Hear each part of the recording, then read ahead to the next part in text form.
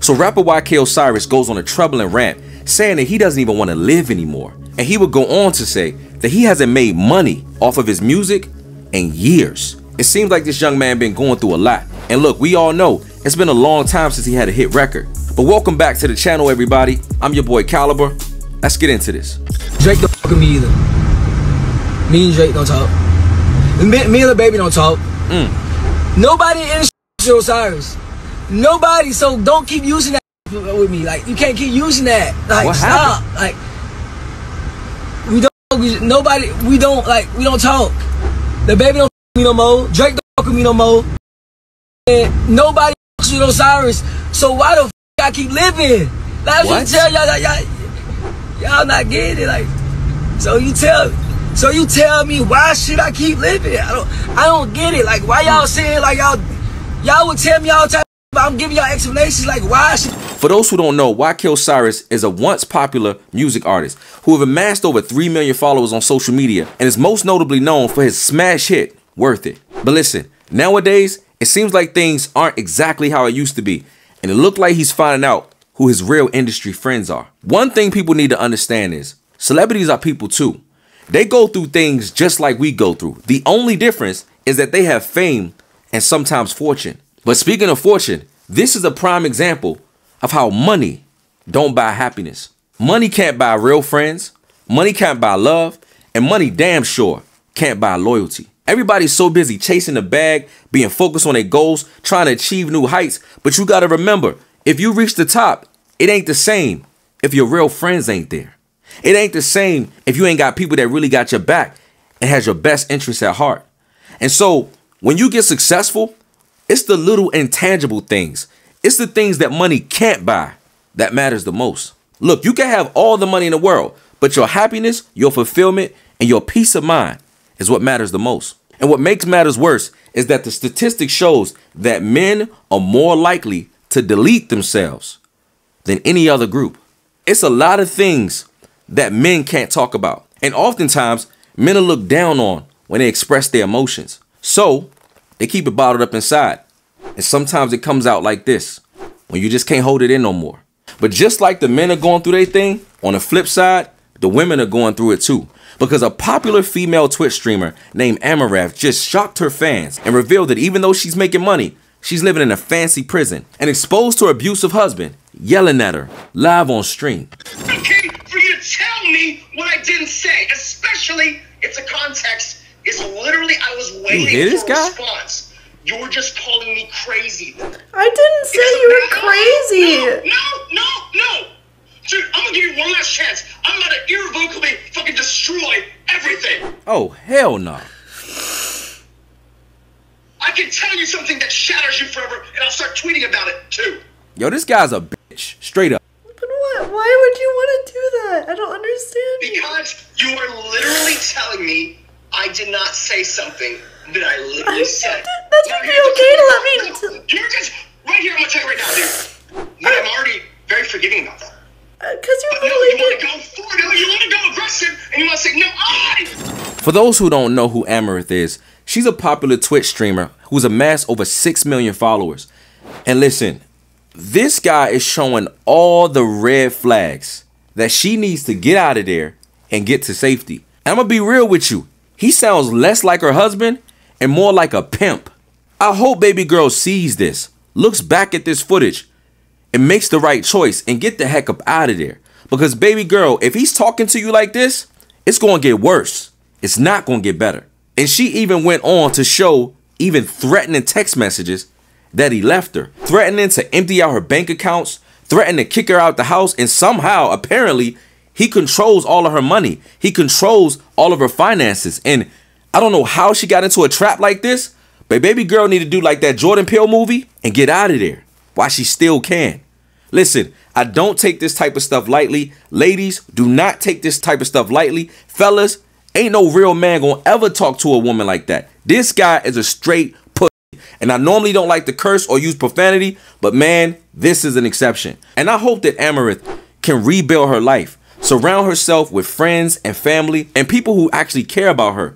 Because at the end of the day, toxic people like this will ruin you, ruin themselves, and ruin everything around them if you allow them. And I know that it's not always easy for a female to get out of this situation. But ladies, ladies, it's too many women who have lost their lives because they didn't act when they still could. Don't ignore the red flags. Do not ignore the red flags. This is not a game. Domestic violence, domestic abuse is a real thing, and we can't take it lightly. This really just shows that just because you have fame and fortune and influence, money, followers, that don't mean nothing at the end of the day. It don't mean nothing if you're not living a happy life. If it doesn't mean nothing if it's breaking you down and making you feel worthless. Cause listen, anything that costs you a peace of mind costs too much. Anything that costs you a peace of mind is too expensive. Straight up. When people are showing warning signs of a mental breakdown, it's important that we surround them with love and support when they need it the most. But thankfully, it looks like YK Osiris just gave an update on how he's been doing lately. Let's check it out. So it's about YK Osiris. That's all I want to say, man. I just want to say I appreciate every single person that checked up on me yesterday. I was very down and very emotional. Yeah. And I was I was drained, but y'all helped me a lot. You know. That's good. Knowing that you don't have friends in the industry and things like that, but you do have people out there that really love you, that really want to see you win. Right. And I realized that yesterday in the day. Um, all I want to say is that, man, check on your people, check on your mom, your sisters I don't care if you mad. I don't know if you mad, but people need love, man. Facts. People need that love, man. For like for real, that love. It's gonna shine a light on them, man. And keep God first, man. Cause if we don't got nobody, we got God. You know, and that's for sure. Straight up. And I love y'all so much, man. I don't care if you broke, rich, poor. I don't care if you famous and not famous, man. Mental health is serious. So keep God first, man. Keep going. I will be dropping more music soon. I love y'all so much. Y'all be safe. Look, man, I'm so glad that he was able to get back into a good place. And what he said is exactly true. I love how this situation can be flipped into a positive as a learning lesson that we need to show more love to each other. I mean, everybody's so busy fussing and fighting, arguing and debating. We need to start listening to each other and showing love straight up. Like he said, check on your strong friends. Call your mother, call your sister, call your brother. Life is too short to be playing out here. Like he said, this music industry, this entertainment industry, Hollywood is fake. None of it's real. And no disrespect to the people who walked out on his life. Not saying that all of them are fake. I don't know their situations. However, like Drake said, no friends in the industry. Ain't no friends in the industry for real. Drake said it himself. And this is the main reason why I believe that as a society, we got to start valuing good people over materialistic possessions. Material possessions is nothing. A car, a house, clothes, chains, jewelry, none of that matters if you're not happy, if you're miserable in the inside and trying to impress people that don't really care. It doesn't matter. I'm glad that YK Osiris was able to turn this into a positive, to a learning lesson. And I hope that young people see this and see that you are valuable and you are not the money that you make. You are who you are on the inside. And the real people who know you gonna love you for you, period. Check on your strong friends. Check on your friends who you think don't need no help. Your friends who you think got it on their own. Sometimes everybody ain't got it. Sometimes everybody's just holding on. Just because somebody got a good job or make good money, do not mean that they do not have struggles and things that you're wrestling with. While you chasing the bag, while you chasing goals, while you chasing opportunity, while you chasing clout, if it's one thing you need to remember, is that everything that glitters ain't gold. Straight up. And for everybody who needs it, we're leaving the National Prevention Hotline right here in this video. So if you need someone to talk to or you need to get something off your chest, you can go ahead and call this number. And somebody will be on the line to talk to you if you're going through something, if you're having any type of deletion type thoughts, before you do anything irrational, know that somebody out there is willing to hear you. Somebody out there is willing to offer you the help and encourage you. And uh I just want to spread positivity, love, and light to anybody that's going through anything right now. And from my heart to yours, I felt like this is a touchy subject. And I know that you can't really talk about this type of stuff on social media, the algorithms, all types of crazy stuff.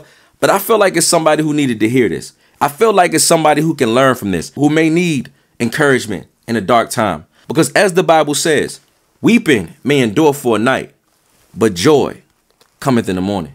Thanks for watching the video, everybody.